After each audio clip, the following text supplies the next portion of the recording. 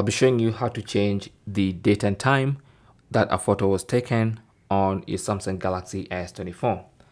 So every photo you take with the Galaxy S24 has a date and time, okay?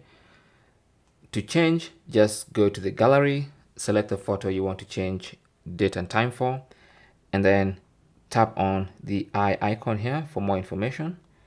And you should see this photo was taken on February 3rd, 2024 at 8.41 a.m. But then also you can edit that and tap on that and then change the date. So for instance, I can change the date to last year, 5th April or, or May. And then I'll tap on time. Also change the time. Maybe I want it at 10.30 a.m. And then I'll tap on done once again. And then I'll, you can see I have the new time and date, then tap on save. And that's going to change the date and time for that particular photo.